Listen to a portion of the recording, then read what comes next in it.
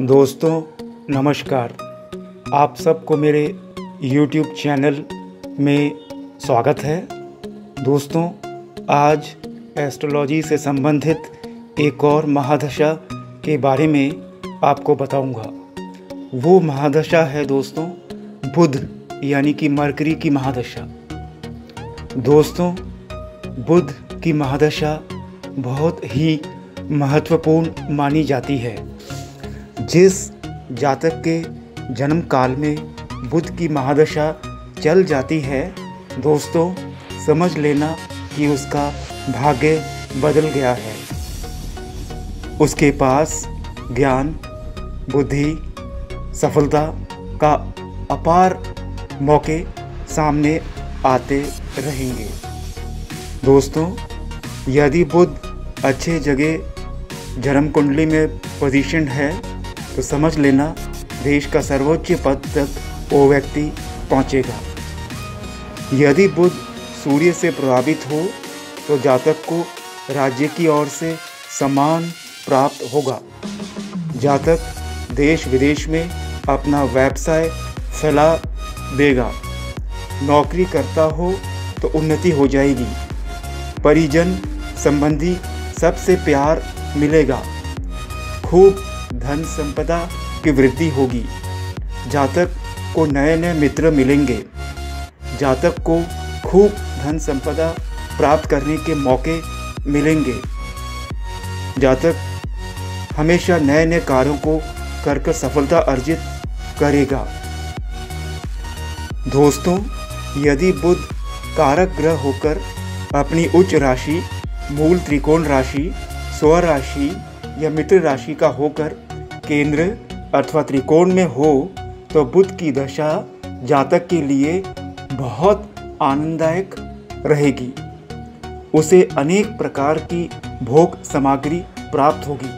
उच्च वाहन, सुंदर आवास, मूल्यवान वस्तुएँ, आभूषण जातक खरीदेगा और खूब प्रसिद्धि मिलेगी। बुध दशा के अंतिम चरण में यदि जातक के बृहस्पति और सूर्य शुभ है।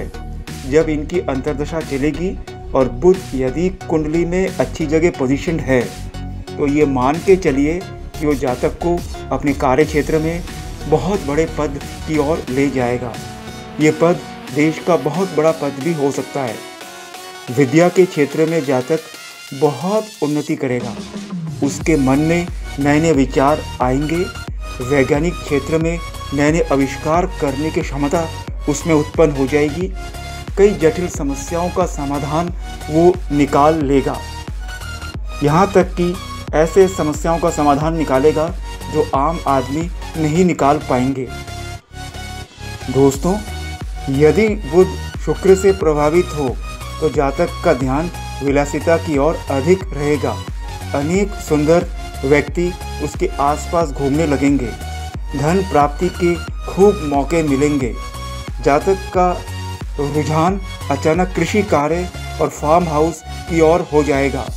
अचानक जातक के घर में धार्मिक कृत्य भी शुरू होंगे। संतान के कारण उसे यश मिलेगा।